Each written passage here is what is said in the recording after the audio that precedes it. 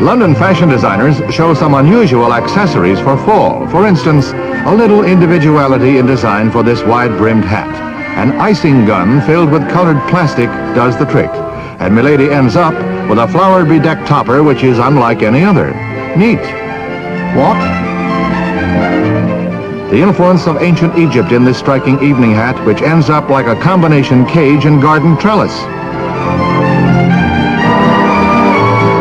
As the poet said, boots, boots, boots, they're in calf-hugging styles and in every imaginable fall color.